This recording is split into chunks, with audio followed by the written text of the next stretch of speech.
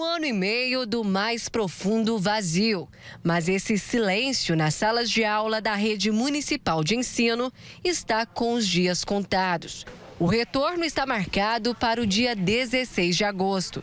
372 instituições voltam a abrir as portas para 107 mil estudantes dos ensinos infantil, fundamental e médio.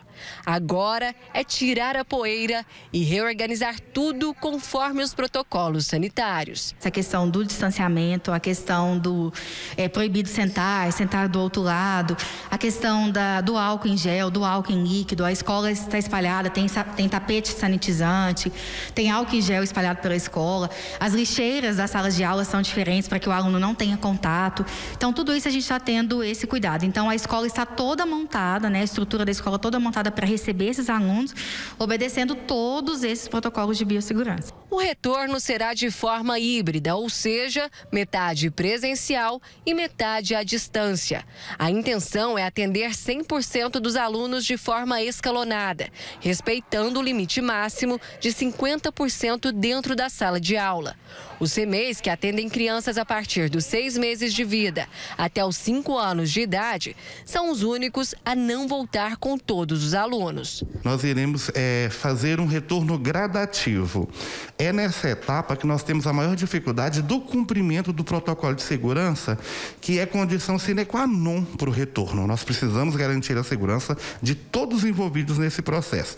Então, nós vamos começar atendendo as crianças de 4 e 5 anos gradativamente a gente vai recebendo as crianças das demais idades até completar os 100% dentro de um mês. O revezamento será feito da seguinte forma: CMEs que antes funcionavam em período integral vão atender apenas meio período e dividir as crianças entre os turnos matutino e vespertino. Já os estudantes do primeiro ao quinto ano farão revezamento diário e os alunos do sexto ao nono ano farão revezamento semanal.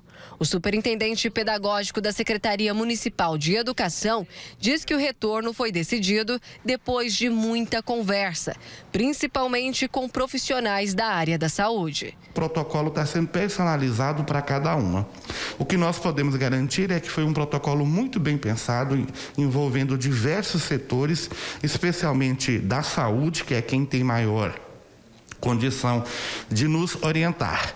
E eu peço muito que os pais visitem as nossas instituições daqui até o dia 15, para que eles conheçam, vejam que a escola está completamente preparada para receber o seu filho com todo o carinho que ele merece. A pandemia afastou alunos das salas de aula e, infelizmente, muitos abandonaram os estudos. Segundo a Secretaria Municipal de Educação de Goiânia, cerca de 10% dos estudantes desistiram do ensino remoto.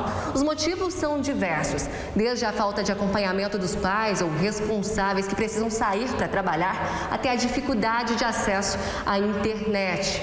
O retorno da aula presencial é uma forma, uma tentativa de resgatar esse estudante. O aluno está um ano e meio fora da escola.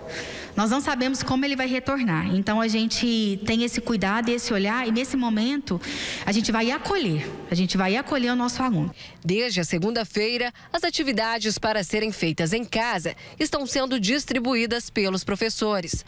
Lucas já garantiu a dele. Você tá querendo voltar para a escola pelo menos para ver os amigos? Como é que tá? Pelo menos para ver os amigos eu tô, mas para vir aqui para fazer tarefa não. Distanciamento, álcool em gel, muitos avisos e uma vontade louca de dar as boas-vindas para mais de 100 mil alunos. Vai ser bom, sim. Estamos confiantes.